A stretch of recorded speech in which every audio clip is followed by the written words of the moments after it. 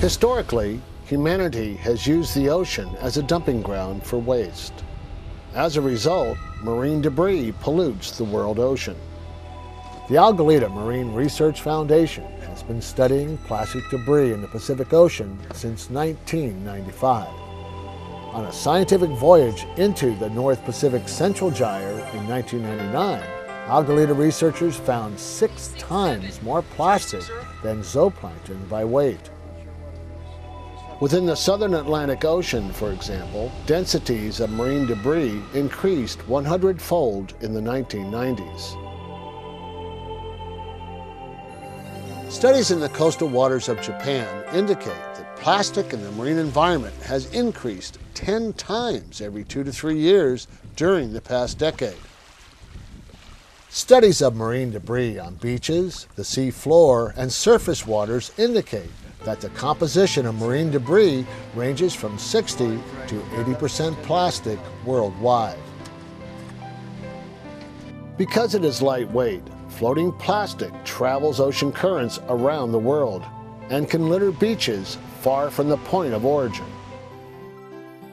Turtles, fish, and birds all confuse marine litter for food. The short-term effects of ingestion for these species can include suffocation and starvation. In the long term, ingestion of plastic can suppress immune systems and cause low reproductive rates. People used to generate, back in the 1960s, about 2.68 pounds of uh, waste on a daily basis. Um, in the 1990s, at the national level, we see that a person produces about 4.45 pounds of waste on a daily basis. That's a 66% increase since 1960. And that is pretty challenging for all of us, and certainly for our board. We need to do everything we can so that people at the individual level reduce the amount of waste that they generate. 80% of the marine debris is from land sources. We're the problem. It's our litter that's creating the problem. We have an excess of packaging in the society. The things that we buy at the grocery store, at the fast food outlet, um, you know, clothes shopping, toy shopping, whatever it is, it is loaded with layer upon layer of packaging. Oftentimes, it's non-degradable, non-recyclable plastic packaging. And the problem is that um, consumers get stuck with this whether they want it or not. The challenge for us is to find a way to ensure that all of these plastics do not end up in the water stream. We cannot have plastics in the marine environment.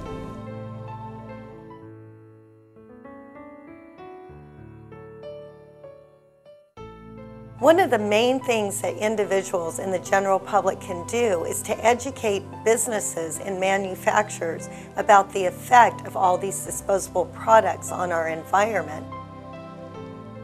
Certainly one element of the litter problem is the public littering, whether advertently or inadvertently. A bigger component of the problem is the excess amount of trash and waste that we have in our society. And the big picture solution to reducing packaging and plastic waste in the marine environment is reducing the total volume of plastic packaging and waste in general in our society. Manufacturers need to take responsibility for their products. We're not going to solve this problem until manufacturers start helping out. The Bag to Bag program started with a, uh, an effort to establish a curbside program early in 2005. And the program, still in its infancy, has collected 17,000 pounds of plastic bags. In addition, the City of Los Angeles has established a curbside program for residents. Uh, this was established on their own, and that program uh, has brought back over 80,000 pounds of bags. These programs, along with programs that our customers are developing, are teaching the public to bring back bags and to, uh, be more effective in reusing this product, not only to put back into bags, but this material will also go back into durable goods.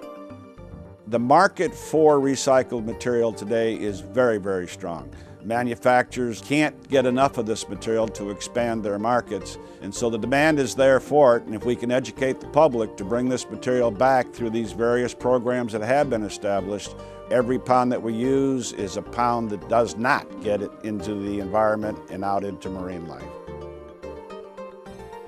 International Coastal Cleanup has been going on since 1986. It's the largest marine-related volunteer event in the world. We had 50,737 people turn out this year, and they picked up just under 910,000 pounds of trash. The biggest event we've ever held, by far.